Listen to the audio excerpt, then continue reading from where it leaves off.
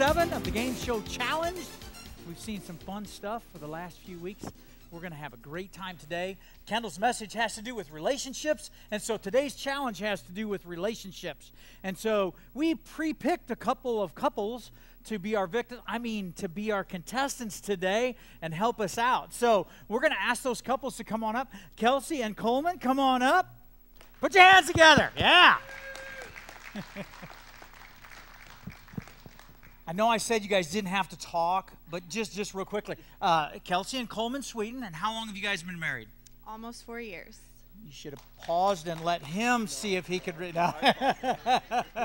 he just said three. All right, you guys go ahead and have a seat. You'll find on the seats a couple of little cards, okay? You got a blue card and you got a pink card. All right, our second contestants this morning is John and Kelly Boland.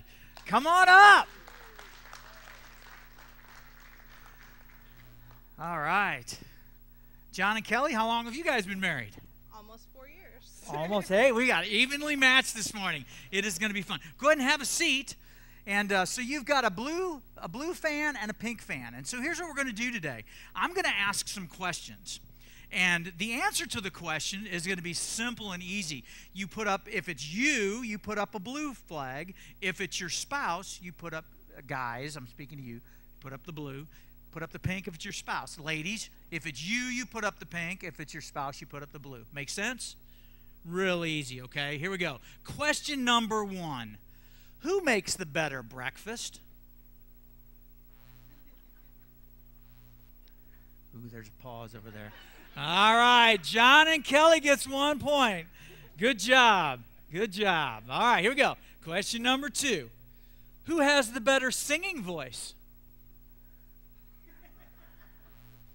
Whoa!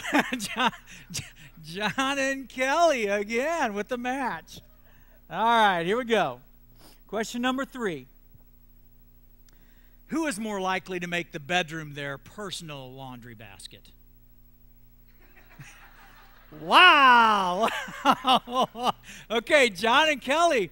Kelly. Mm-mm-mm-mm. All right, here we go. Here we go. Number four, who is the pickier eater? Wow, there we go. There we go. Couple of matches. Good job, guys. All right, we ready? Who is more likely to leave their man or woman cave a mess? Wow. All right, Kelsey and, and uh, Coleman, good job. Here we go. Who fell in love first? Lots of pause and hesitate. Ah, there we go. Good thinking, Coleman. Good thinking there. All right. Good job. All right. Who chose the honeymoon location? Okay. The counselors will be on hand after the service today. Here we go. Who controls the credit card? Bam! Look at that. There we go. Good job. Good job. All right. Who is a night owl? Whoa! There we go. Good job. All right, here we go. This is probably the most fun one. Who is more likely to burn the house down when they cook? Wow! Good job, guys. Awesome. Good job. You guys have been great contestants today. Hey, for your prizes today, we have the sharing size of M&Ms for you guys to pick and choose from. And uh, it was a tie today, unless I, my counting is incorrect. So we're just going to come over. Cole, you guys got to pick first. So you have your peanut M&Ms, you have your regular milk chocolate M&Ms, and you have your M&Ms caramel. Peanut M&Ms. Would that be the choice? You, I should have done the stick, shouldn't I? There we go. Good job. Thank you, guys. And your choice, caramel or regular? Caramel. All right. Good job. Thank you guys for helping out. What a great time today. Hey, Kendall's here this morning. He is uh, pumped up and ready to go to share with us this message today on relationships, and we're excited to hear from him. Oh, boy. Joe was pretty easy on you guys, I think, from the questions. He could asked some really good ones. oh, man. Well, listen, let's all turn in our Bibles here. Let's open up to Colossians. And uh, we're going to be in chapter 3, and we barely get into chapter 4. But uh, this has been a whole series called Challenged, okay? A couple things I wanted to mention before I got into the message. Uh, one of those is just remember, I put them out there last week, but we have uh, just some invite cards that you can pick up and put in your purse or wallet or just stick them in your car. And you're always going to be ready to invite anybody to church, okay? And you can just simply give it to them and say, hey, I'd like to invite you to, uh, to Warrenton Christian Church this Sunday. And man, you can set up whatever you'd like. You might want to say, we can sit together, or listen, I'll take you out to eat after church, whatever you want to do. But it's a great way uh, to make a connection with some people you know uh, that, that really do need to be in church. Another thing that is uh, brand new today outside, there's a table in the foyer. This is all about life group signups, okay? And these life group signups are going to last all the way through September the 9th. And on September the 9th, I'm actually going to dedicate a message about why small groups. Uh, and we're, we're going to just talk about why you really should be involved in that. But I encourage you to go ahead and, and get signed up. The other thing is in your bulletin is about the Discover Luncheon. If you're newer to the church and you'd just like to meet me on a little more personal basis, I'm going to share just a few things about the church. Uh, I'd love, love to have you sign up and be a part of that. And that will be on September the 9th, I believe, as well. September the 9th. And it'll just be right after church services on that day. We'll just take about, I don't know, an hour, maybe an hour and 10 minutes we'll be here. Well, let's get into to the message today. We've all been, the whole idea is that through this series, that we're definitely going to be challenged, okay? And so sometimes I can be a little more, I don't know if we want to call it feisty or whatever, but you know, hey, we'll just, we'll have a good time with it, all right? Well, we'll be reading through the scriptures as we go along, so we will get there. It was a few years back that a 21 year old young man from California, he bet his friends that he could fit inside a baby swing. Okay? And his friends decided to accept the bet. And so he took detergent uh, you know, uh, laundry detergent. He soaked himself down. He got inside and he squeezed down into the baby seat all the way, you know. And you can just imagine all the laughter going on, right? You know, probably a lot of laughing. But the laughter soon tur- turned to anxiety when the young man discovered that he couldn't get out. And uh, to make matters worse, his friends just left him there. and they didn't help. And about 6 a.m. the next morning, the groundskeeper of the park started hearing these screams for help. And uh, of course, the groundskeeper went over there. He may have been laughing too. I don't know. But uh, he had to, to call, and uh, the, the firefighters came. And, you know, they looked over the situation. They decided that they would cut the chains and sent him to the hospital with the seat still around him, okay? and so when they got to the hospital, they used cast cutters to cut it off. All I know is that after going through all that, let's just hope he collected the $100, right? let's just hope. Now, what about those friends? Hmm, let's think about that. What kind of friend would leave you stranded in a baby swing all night? I don't know. I mean, I wonder if he was upset with his friends. From my observation, you know, there's been a lot of ups and downs. there can be ups and downs, you know, in, in relationships, but you can only leave somebody stranded so many times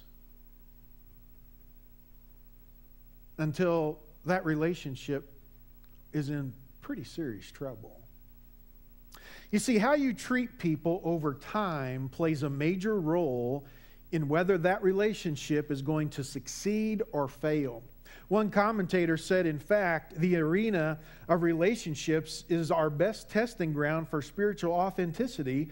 Thinking on things above, and that's part of what we had, uh, what I'd taught on, you know, a few weeks back but thinking on things above should lead to practical results below.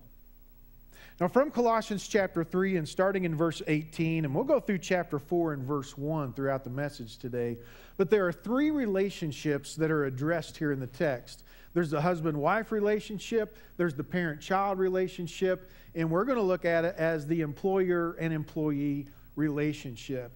Now, I think it's very obvious as we read through this text, okay? It's not like it's real detailed about relationships. But I do think that we are going to discover some basic guidelines, we might call them principles, that we can employ in these relationships, and it's going to lead to a relationship having the, the best environment to survive in. So let's go ahead and get started, and we're just going to consider, first of all, the husband wife relationship. And I want to read from Colossians 3, and I'm going to read verses uh, 18 and 19. It says, Wives, submit yourselves to your husbands as is fitting in the Lord. Husbands, love your wives and do not be harsh with them. Now, you may have heard this, so just laugh along, okay? It'll make me feel good today. But uh, there's a story about this couple, and uh, they had been married for 60 years, and so everybody was wanting to know, you know, well, how is it that you made it through 60 years of marriage? And so the husband, he spoke up and said, well, you know what? When we got married, we made a decision that I would make all the major decisions and my wife would make all the minor decisions. To which at that point, the wife took up the tale and said, and in 60 years of marriage, we have never had to make a major decision. See? Now, I have my doubts that such an, ar- uh, an arrangement in a marriage would actually lead to a successful marriage relationship. Many decisions, I think, are best made together. Now, in our text, like I said, it doesn't get real detailed, but there are two basic biblical guidelines that every husband and wife must be willing to live, live by if they want their marriage relationship to be successful, okay? And here's the first guideline that we discover, and that is the wife is instructed to submit to her husband. Now, I think the word submit, you know, whenever we say that in our society today, it can be taken very negatively, you know. There's a lot of people out there that would really look down on that and say, no, you don't need to do that. Uh, so, ladies, before you start throwing anything at me, all right, just give me a chance to make my point, and then you can throw stuff at me, all right?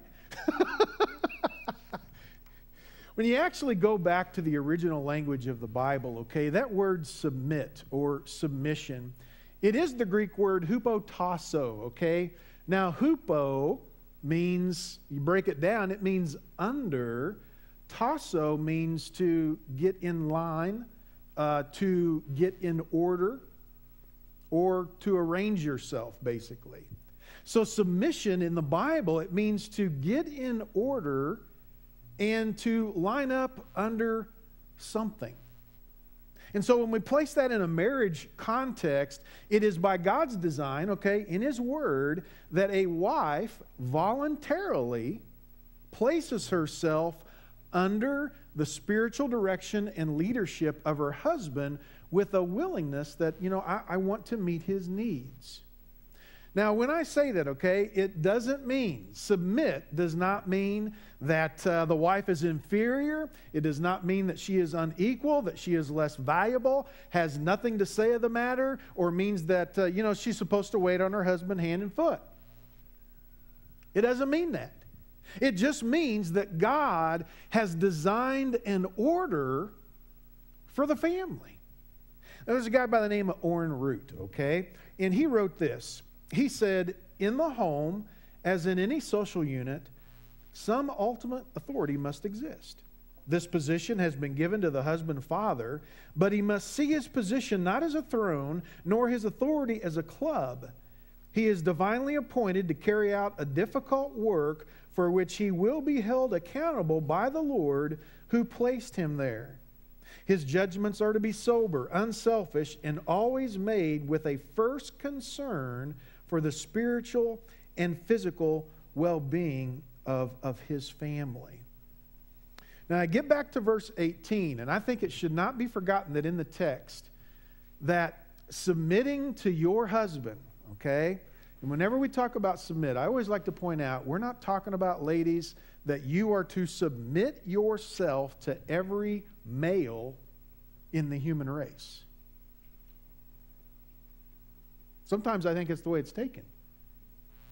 No, this is all about your husband that you love, that you committed your life to. You are to submit to your husband with this willingness to meet his needs, and you're going to follow, follow his leadership for the family. And what does it say the, in the text? As is fitting in the Lord. I think we would all agree that marriage is intended to be a very intimate and a very loving relationship. And that's why it's important to understand the next guideline, okay? Because one without the other never leads to a successful marriage relationship. So there are two things going on. We've talked about how a wife is to submit herself to her husband. Let's go to guideline number two. It says the husband, okay, is instructed to love his wife and not treat her harshly. A parallel passage is actually found in Ephesians chapter 5 and verse 25, where it says, Husbands, love your wives just as Christ loved the church and gave himself up for her. Now, we would ask, how much did Jesus love the church? He died for it. And that's to be the extent of love for your wife as a husband. In our text, there is the word translated harsh, okay? I think that's kind of interesting too, how it says, Love your wives and do not be harsh with them. It, what the word means is, is uh, it, it's the idea of producing a bitter taste in your stomach, you know? Maybe it's kind of like a Taco Bell lunch that's gone bad, you know? Ugh. It's irritating, you know? It's the idea of being sharp okay, being cross with someone. And so here's the point, okay? Husbands, you need to love your wife in a manner that displays sacrifice, that displays commitment and loyalty and respect and gentleness and unselfishness instead of treating her harshly in such a way that is upsetting to her stomach. It makes her feel bitter inside. You are irritating, you see, to her. And husbands, when you lead your home with love, guess what? Your wife is not going to have any problem placing herself under your spiritual leadership and direction. On the other hand, men, if you're leading your home with an iron fist, you know, if you're being disrespectful to your spouse, if you are verbally abusing, if you are self centered, if you are degrading, you're unwilling to pitch in and help, then you're going to make it very hard for your wife to submit to your leadership and direction for the home. In his book, it's called uh, God's New Society, John Stott, I think he said it very well. He said the essence of Paul's instruction is wives submit, husbands love. And these words are different from one another since they recognize the headship from which God has given to the husband. Okay, now listen to what he says. Yet when you try to define the two verbs, it is not easy to distinguish clearly between them. What does it mean to submit? It is to give oneself up for somebody. What does it mean to love? It is to give, up, give oneself up for somebody as Christ gave himself up for the church. Thus, submission, he says, and love are two aspects of the very same thing. Namely, of that selfless, self giving, which is the foundation of an enduring and growing marriage.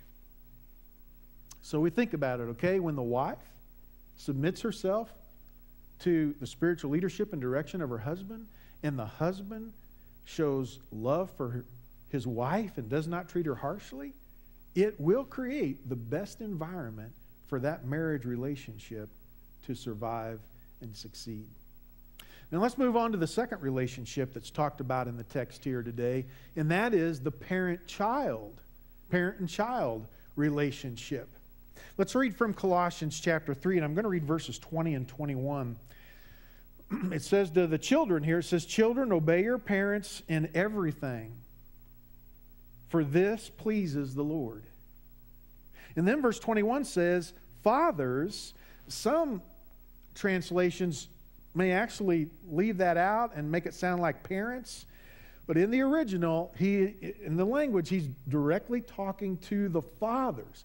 I think we can say both parents, but he's really drawing out and concentrating fathers, do not embitter your children, or they will become discouraged.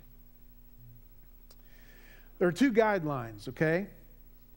Pretty simple in words, but the first guideline is this children must obey their parents because this pleases the Lord. Okay? Now, I'm sure you've read about some weird laws out there, you know. There's some weird laws in, in, in Missouri. For example, in Mole, Missouri, I don't know where that's at. But in their law books, frightening a baby is a violation of the law. Okay? So don't scare any babies there. In Purdy, Missouri, dancing is strictly prohibited. In University City, Missouri, no person may have a yard sale in their front yard. I did run across a weird one out of Mississippi, okay? They have a law in Mississippi children who disobey their parents can have their hair shaved off. Man, aren't you glad that is not in Missouri, or we might be having a lot of bald kids walking around church today. Instead of disobeying parents, okay, kids, and getting your hair shaved off, God wants every child to actually follow the directions of their mom and dad. Why? Because as the text says, it pleases the Lord. And young people, let's just say, you may not realize it at this point, but when you have parents who are concerned about your life, okay, they're concerned about who you run with, they're concerned about where you go, they're concerned about how late you're staying out. Listen, it is evidence that those parents love you deeply and they have your best interests in mind. Parents like that, you see, you are wise to listen to what they have to say. Here's the second guideline then parents, and especially fathers, should stay away from the kind of, of criticism, harassment, and belittling that breaks a child's spirit. I'm just going to read a couple other translations. Uh, the New American Standard Translation says of that verse 21 Do not exasperate your children that they may not lose heart. Uh, the contemporary English version reads Parents, don't be hard on your children. If you are, they might give up. The J.B. Phillips translation reads Fathers, don't overcorrect your children or they will grow up feeling inferior and frustrated. Now, we've got to say that undoubtedly, okay? I mean, parents, you know, kids, they're going to test you, uh, they're going to rebel against you, uh, they're going to try your patience. And on such occasions, they do need to be disciplined. But the discipline that we use should be balanced instead of it's too rigid or it's too permissive. Okay? You get it? It's like two different extremes. Too rigid, too permissive. Somewhere there needs to be a balance.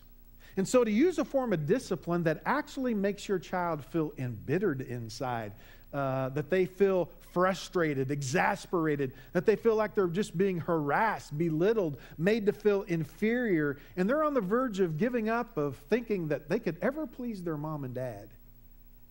That's the kind of discipline you need to stay away from. I like what Gary Weedman wrote. He said the goal of parents, especially fathers, is to treat their children in such a way that they might develop a positive and confident attitude about themselves, their abilities, and their world. Of course, discipline is necessary for this to happen, but it must be a discipline tempered with love and respect for them as human beings and as gifts from God. Okay? So, here's the deal. When the child fulfills their responsibility in the Bible to obey their parents, and the parent especially the dad has pointed out, fulfills their responsibility to stay away from the kind of harassment, criticism, and belittling that makes the child, you know, it's breaking their spirit,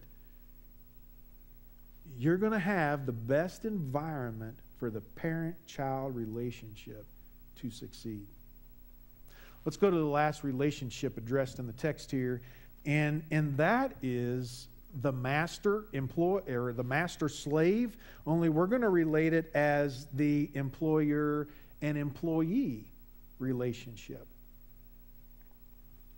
It was uh, back a few years back in 2010 that uh, police reported that a 32 year old man, his name was Michael Yarborough, okay, he was like back at his job, you know, the first day back. He had been on leave from a broken leg and it was his first day back, and he was, you know, stocking shelves uh, in, in the baby area.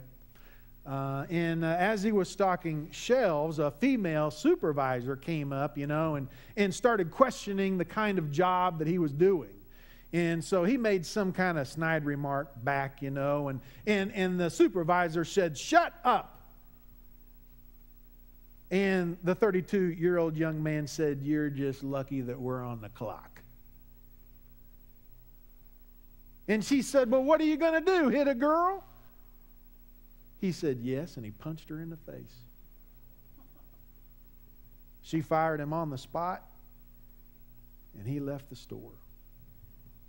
Hmm.